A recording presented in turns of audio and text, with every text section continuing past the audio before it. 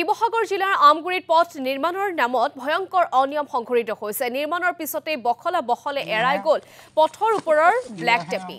আমগুৰি লোক নিৰ্মাণ বিভাগৰ অন্তৰ্গত ধুদৰ আলিৰ পৰা চলাৰ প্ৰজেক্ট সংযোগী চাংমাই কোঁৱৰ গাঁৱলৈ নিৰ্মাণ হৈছিল পথটো। ঠিকাদাৰৰ গাফিলতিৰ বাবেই এনেদৰে পথটো ব্লেক টেপিং এৰাই যোৱাৰ অভিযোগ। এই ঘটনাৰ পিছতে স্থানীয় ৰাইজে পথটোৰ নিৰ্মাণ কাৰ্য বন্ধ কৰাৰ দাবী উত্থাপন কৰি প্ৰতিবাদ সাব্যস্ত কৰে। ৰাইজৰ এই ৰূপ দেখি পলায়ন কৰে মহৰীসহ লোক নিৰ্মাণ বিভাগৰ বিষয়াই।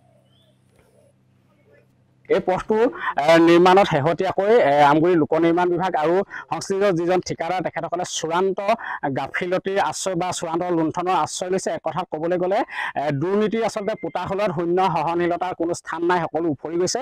আমাৰ এই চাংমাই গাঁৱলৈ যিটো এই যিটো ৰাস্তা এই ৰাস্তাটো আচলতে নিৰ্মাণত আমি গাঁওবাসী ৰাইজ আচলতে আমি তীব্ৰ অসন্তুষ্টি হৈছোঁ আৰু আমাৰ আপত্তি আছে যিভাগে এই ৰাস্তাটো নিৰ্মাণ কৰিছে। এই ৰাস্তাটো নিৰ্মাণত যদি আমি ইতিহাসটো ক'বলৈ যাওঁ আজিৰ পৰা তিনি মাহৰ আগত যেতিয়া পথটো নিৰ্মাণ কাম আৰম্ভ হৈছিলে তেখেতে আচলতে বিভিন্ন ধৰণৰ বিভিন্ন স্থানত হ'লে বিভিন্ন ধৰণৰ নীতি অৱলম্বন কৰি ৰাস্তাটো নিৰ্মাণ কৰিছিলে। ক'ৰবাত খান্দিছে ক'ৰবাত নাই খন্দা মানে য'ত মানে তেখেতে ভাবিছিলে যে মানে কণা হাঁহক পতান ধান দিয়াৰ দৰে